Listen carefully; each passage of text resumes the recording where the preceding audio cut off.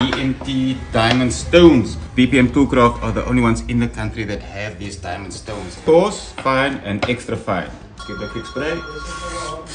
That's all you need. Put your chisel. One,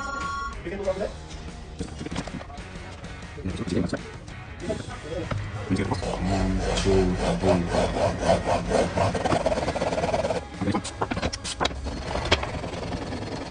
three.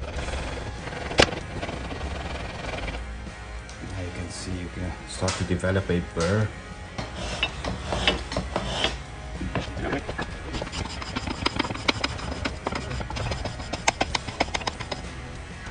So strap is just a piece of leather that is glued to a flat surface and metal polish has been put onto the strap and then you just polish it off. Some sharp chisel. So now you can see the difference between factory sharp versus sharpening. I'm not even applying pressure. I'm like using the back of my hand and two fingers just to show you how sharp it is when you sharpen it. And that's the difference between buying quality chisels and crappy chisels.